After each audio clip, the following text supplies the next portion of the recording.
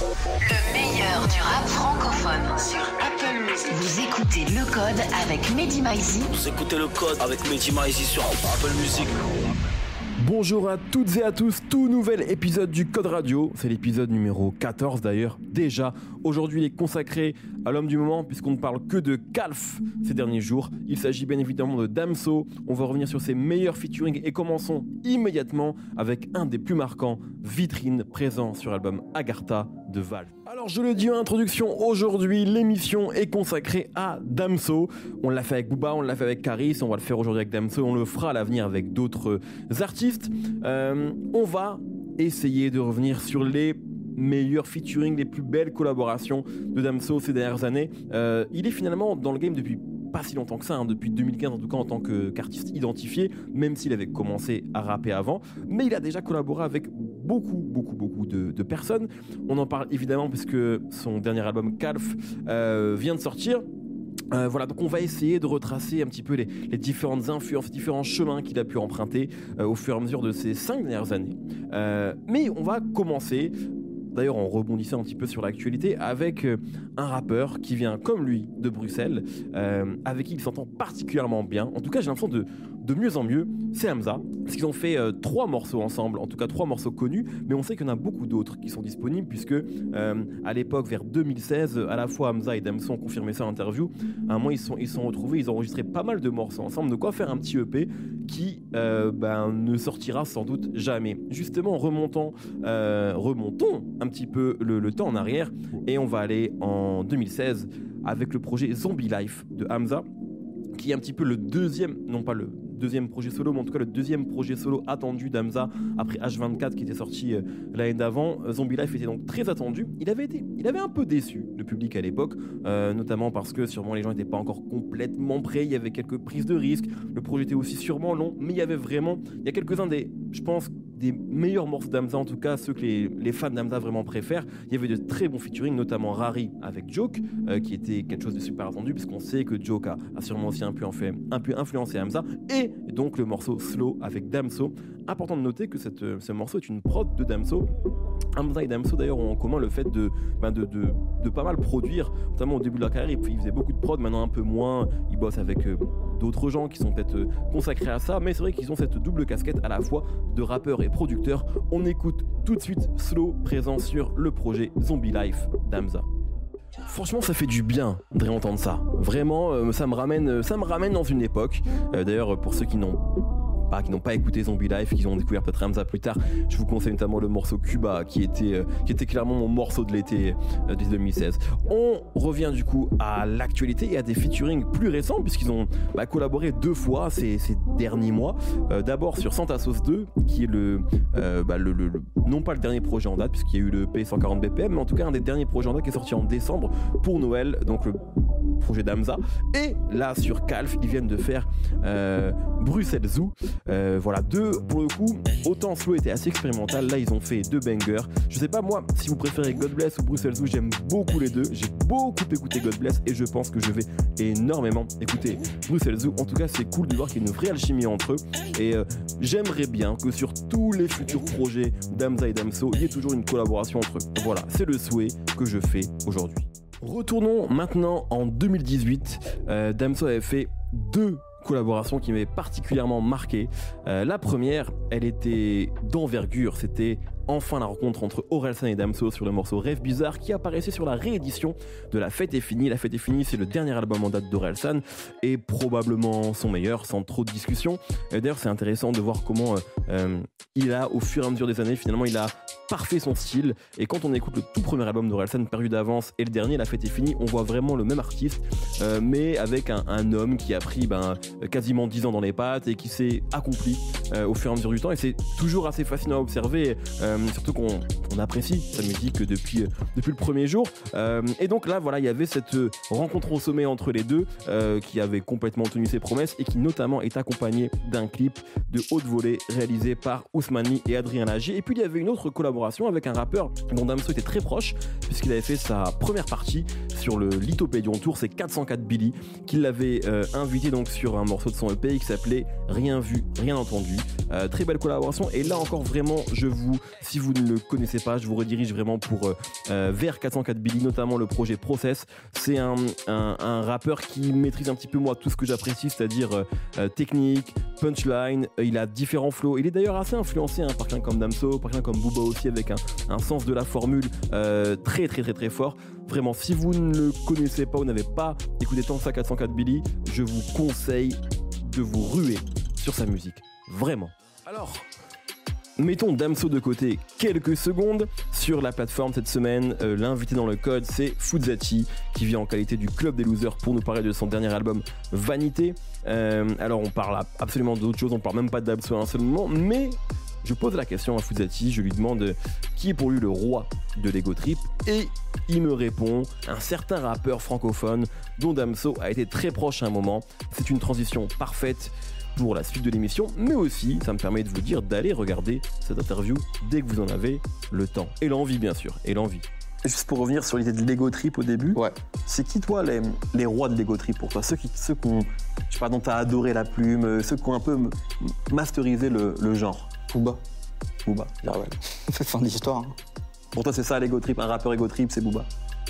Ouais, je pense. Mais c'est parce que Booba, c'est de la domination tout le temps. Peux même voir, même pas que dans le, pas que dans le, dans pas que dans le rap, ouais. C'est-à-dire que si t'es en clash avec lui, le mec ne te lâche jamais, même si l'histoire elle a 6 ans, tu vois, c'est terminé, c'est pire qu'une mafia. Donc non, mais tu vois, il y a ce truc de vraiment euh, dominer tout le temps en permanence, quoi. Donc euh, ouais, c'est pour ça. Alors suite à cette apparition sur Nero Nemesis, Damso avait embrayé avec son tout premier album sorti en juillet 2016, Batterie Faible, un album d'ailleurs qui avait été pensé comme une mixtape et sur lequel il n'y avait pas de featuring, c'était vraiment Damso euh, dans toute sa splendeur, euh, avec d'ailleurs un morceau qui n'existe plus, enfin qui n'est plus disponible sur les plateformes, c'est le morceau Amnésie, qui était euh, un morceau voilà, particulier qui avait beaucoup fait parler à l'époque, mais il y a eu un morceau qui est sorti un petit peu après la sortie de Batterie Faible et qui était sorte de bonus track, c'est le morceau Paris c'est loin avec Booba, d'ailleurs qu'on avait déjà écouté dans l'émission consacrée au meilleur featuring de Booba. Euh, c'est un morceau d'ailleurs que Damso ne voulait pas finir et qu'il a fini sur les conseils, sous l'impulsion de Booba, qui, encore une fois, en tant que directeur artistique, euh, a eu raison. Dernière collaboration en date entre Booba et Damso et probablement dernière collaboration de leur carrière, c'est le morceau 113 présent sur Trône, euh, dernier album de Booba. Euh, voilà, c'est une collaboration alors pour le coup, euh, ça rappe. C'est-à-dire qu'il y a quelque chose qui est intéressant de remarquer avec Booba, c'est euh, sur les derniers featuring, souvent, il fait des morceaux, euh, des, tubes, quoi. Il tente de faire des tubes, euh, souvent il réussit. Hein. Je pense notamment au morceau avec, avec Maes, par exemple, mais encore une fois, sur le dernier Leto également. À chaque fois, on est sur des choses qui sont très mélodieuses, où ça chante, etc. Et avec Damso, alors que Damso pour le coup est aussi capable hein, de partir sur des choses très mélodieuses, à chaque fois euh, il part sur des, morceaux de rap, quoi, sur des morceaux de kickage pur. C'était le cas sur 113. D'ailleurs 113 avec une référence au groupe, bien sûr au groupe de Vitry qui fait toujours plaisir. Bref, Bois Damso 113 c'était un peu le, gros morceau rap de l'album Throne et je me souviens qu'il avait battu plein de records de streaming la nuit de sortie de l'album. Bref, c'était la folie. Euh, Booba Damso 113 profitons-en puisque ça ne se reproduira sans doute Alors on parle beaucoup de la scène bruxelloise hein, depuis plusieurs années, bien sûr Damso, Hamza, Caballero, Jean Jaff, Shai, bref il y en a énormément. Le motif aussi d'ailleurs qui a sorti euh, son premier EP la semaine dernière. il y a un rappeur également euh, dont on n'a peut-être pas assez parlé, c'est DAV, euh, qui vient donc lui, aussi hein, de la capitale belge, qui a sorti un tout premier album qui s'appelait Divergence fin 2019 que je vous conseille vraiment d'écouter, qui avait qui montrait plusieurs facettes euh, du rappeur et il y avait le morceau Parovi avec Damso et Damso dessus est dans une forme olympique. On écoute ça. Petite pause dans le rap, en tout cas dans les morceaux rappés de Damso. Nous allons parler d'une autre facette du rappeur, Damso auteur, qui écrit pour d'autres artistes. Et oui, et on va écouter donc trois morceaux à la suite qui, euh, bah, ne figurent pas sur ces disques, sur lesquels la voix de Damso n'est pas présente, mais donc euh, pour lesquels il a prêté sa plume. On va commencer avec Kenji Girac, puisque oui, il y a eu une vraie collaboration avec Kenji Girac sur l'album Amigo de Kenji, puisque Damso lui avait écrit trois morceaux, Amigo, Laisse tomber et Maria Maria, qu'on va écouter euh, juste après. On sait d'ailleurs qu'il y a eu une, une bonne entente entre eux, il y a eu pas mal de photos d'eux en train de rigoler en studio, etc. Ensuite, on va écouter un morceau que j'adore, qui est le morceau Pleurer de Shai, qui est présent sur le, dernier album, hein, le deuxième album de Shai, Antidote, euh, un disque pareil, je le répète encore, dès que je pourrais le dire, je le redirai, mais qui n'a pas eu le, succès qu'il aurait pu, qu'il aurait dû avoir, parce que c'est clairement pour moi un, des meilleurs albums de rap de l'année dernière. Euh, et donc euh, voilà, Damso avait prêté sa plume, mais on sait, hein, Shai, il a souvent dit dans les interviews, mais il y avait aussi une, relation assez forte euh, entre Shai et Damso. Et puis, dernier bébé en date, c'est le morceau Donne-moi ton cœur pour Louane, qui pour moi le meilleur des trois. J'avoue, autant je connais très mal la discographie de Louane, autant je trouve que ça c'est une sorte de, de petit bijou pop qui est remarquablement écrit par Damso. Et quand on sait que c'est Damso qui est derrière ça, eh ben on n'est pas étonné. Bref, trois morceaux qui montrent aussi une autre facette de Damso, le Damso auteur. Quel tube que ce Donne-moi ton cœur de Louane. Revenons sur les morceaux rappés de Damso. Alors, depuis euh, l'émission est consacrée à ses featuring, featuring avec des rappeurs, mais également avec des producteurs, en tout cas un producteur qui s'appelle Icas Boy qui a déjà produit à plusieurs reprises pour Damso et qui sort des projets solo en son nom. Euh, moi je suis un grand fan des projets de producteurs, alors il y a bien sûr ceux d'Icas, euh, les Brutal, là le morceau qu'on va écouter Solitairien est présent sur Brutal 2, il y a également ceux de Midsizer, mais on peut aussi euh, citer ceux de ce DJ Widjim, il y avait également un des très bons morceaux d'ailleurs, de très bons projets pardon de l'année 2020 en rap francophone, c'est le projet de Twinsmatic, bref il y a de plus en plus de projets de producteurs. Et moi j'avoue que ça m'enchante parce que souvent bah, ça permet aussi aux producteurs d'aller sur d'autres terrains euh, et de pouvoir s'exprimer pleinement, parce que souvent quand ils produisent pour les rappeurs, parfois ils vont sur les terrains des rappeurs, en tout cas les artistes leur demandent des choses bien précises. Euh, et puis surtout aussi ça permet d'avoir parfois euh, des, rappeurs qui tentent des choses qu'ils ne feraient pas sur leurs propres albums. Bref, très bon morceau, en tout cas solitairien de Damso sur Brutal 2. Et je sais, je crois savoir que Lucien Yakuza, qui est une amie de Damso, qui est présente sur le dernier album de Damso, est une grande fan de ce titre. Et si Luz l'a dit, c'est que c'est vrai. L'heure, lorsque je parlais de Booba et de sa relation avec Booba, je parlais du 9 de I.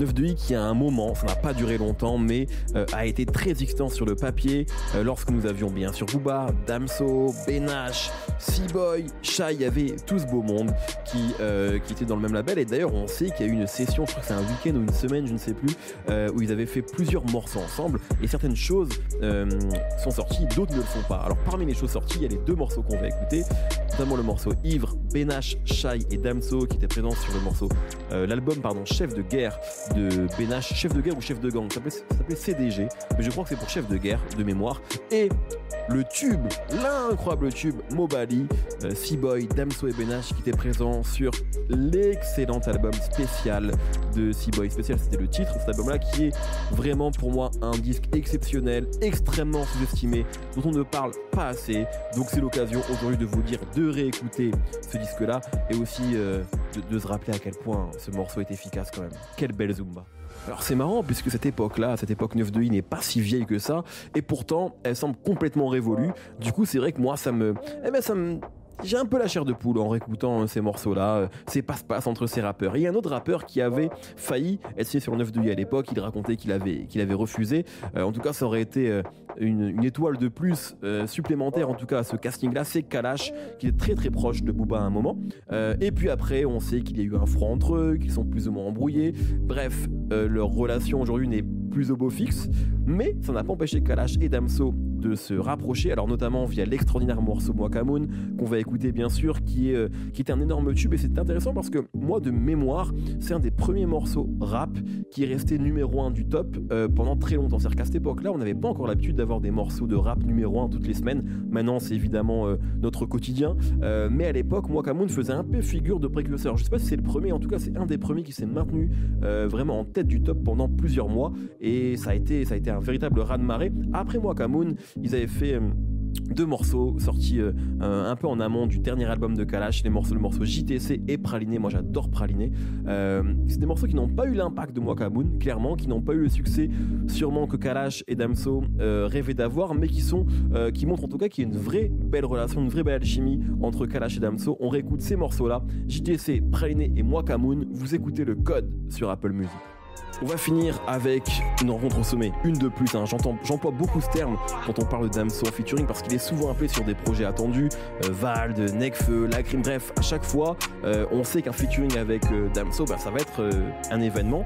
Et alors Nino l'a invité sur MILS3 sur le morceau promo qui bizarrement n'est pas du tout le morceau qui a le plus fait parler. Hein. C'est clairement L'être à une femme qui est devenu le tube, cette mixtape. mais c'est vrai que moi je me souviens qu'une fois, j'aime bien faire du rap fiction parfois. Et je me suis dit, si on était dans les années 2000, peut-être que Nino C'est un peu le nouveau Rof et Damso c'est un peu le nouveau Booba. Ce que dis n'a pas vraiment de sens, évidemment c'est de, c'est de la fiction encore une fois, mais je trouvais ça rigolo à imaginer et en tout cas j'étais content que cette collaboration arrive et surtout ça montre aussi que maintenant, contrairement à cette époque-là, les, les, différents styles de rap, les différentes têtes d'affiche se mélangent beaucoup plus facilement que dans le passé. Euh, en tout cas, on va se quitter sur ce morceau. Moi, ça m'a fait plaisir de réécouter tous ces morceaux de Damso et de, se rendre compte finalement que sa discographie est déjà extrêmement riche puisque nous n'avons parlé que de featuring aujourd'hui. Euh, on écoute promo et on se retrouve la semaine prochaine pour un nouvel épisode du Code Radio. Je vous embrasse.